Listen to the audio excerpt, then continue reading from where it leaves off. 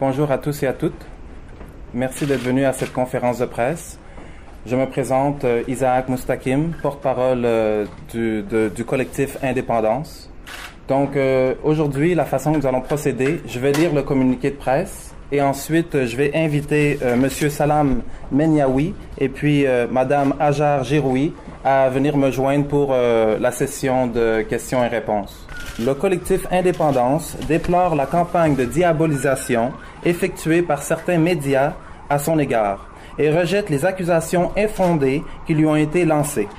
Le collectif n'a jamais encouragé la haine ni la violence envers les femmes ou envers tout autre groupe de la société. Nous condamnons fermement tout, recours à l'agressivité physique, psychologique ou verbale envers les autres, femmes ou hommes.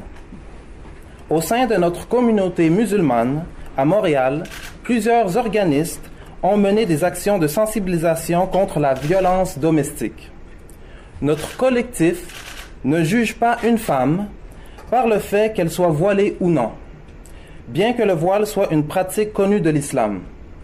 Nous ne croyons pas que toute femme non voilée est condamnée à aller en enfer. Les enseignements de l'islam nous interdisent catégor- catégoriquement de juger du sort final d'une personne spécifique après sa mort. Le jugement dernier est exclusif à Dieu, l'unique. La femme jouit d'une place très noble dans les textes sacrés de l'islam. D'autre part, notre association dément formellement avoir incité à la violence ou à la haine envers les homosexuels. Le sujet de l'homosexualité n'a jamais fait partie du contenu de nos conférenciers antérieurs ou futurs. Le collectif Indépendance se dissocie de toute croyance extrémiste et prône un message d'ouverture et de tolérance.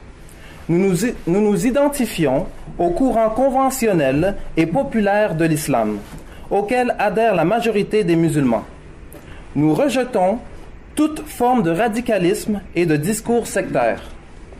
Par souci de transparence et d'intégration, nous avons choisi de tenir notre conférence annuelle au Palais des Congrès de Montréal pour sa position géographique. Nos conférences ont toujours été publiques et ouvertes à toutes et à tous, incluant les journalistes. Notre message est universel et s'adresse à toutes les composantes de la société québécoise. Le collectif Indépendance trouve regrettable la position réactionnaire de la ministre Agnès Maltais qui a demandé d'empêcher la venue de nos conférenciers.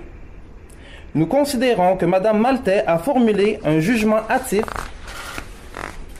un, jugement- hâtif quelques heures seulement après la sortie du premier article portant sur l'affaire. Madame Maltais se doit d'être la ministre de tous les Québécois, incluant les jeunes musulmans. Le bureau de la ministre aurait pu nous joindre pour discuter de la situation afin de pouvoir se faire une opinion plus équitable. Les fausses accusations dirigées envers la conférence ont comme origine quelques, po- quelques propos équivoques de deux de nos invités. Il est vrai que pris séparément, ces propos équivoques peuvent être mal interprétés. Cependant, on ne peut pas ignorer les principes clairs d'une personne et juger de son idéologie générale en isolant une partie infime de ses propos.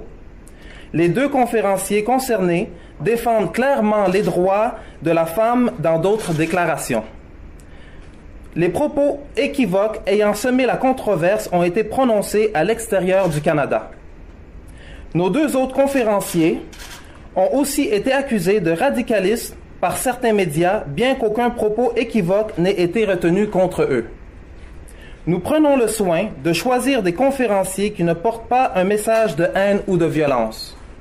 Nous expliquons toujours à nos conférenciers les spécificités de la culture québécoise et des lois canadiennes. Lors de nos conférences, nos intervenants se doivent de tenir un ton doux et d'éviter le discours incendiaire.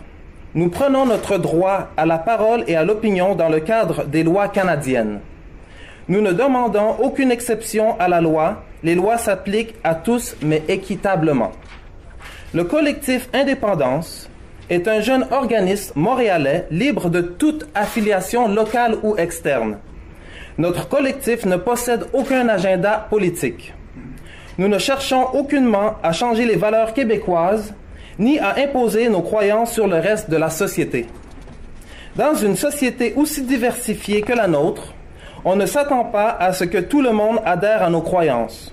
Nous comprenons que certains groupes aient des réticences face à notre conférence et nous reconnaissons pleinement leur droit à manifester, à manifester pacifiquement. Nous voulons jouer un rôle positif en aidant les jeunes musulmans à devenir des citoyens proactifs et responsables dans le Québec d'aujourd'hui et de demain. Nous sommes à nos premières expériences et nous ne sommes pas parfaits. Nous apprécions toute invitation au dialogue visant à nous proposer de meilleures façons de faire. En tant que jeunes musulmans du Québec, nous souhaitons que notre liberté de religion soit respectée par nos concitoyens malgré nos différences. Les conclusions hâtives doivent laisser place à l'échange et à l'écoute mutuelle. Nous croyons au dialogue et nous pensons que c'est ensemble que nous pourrons construire le Québec de demain.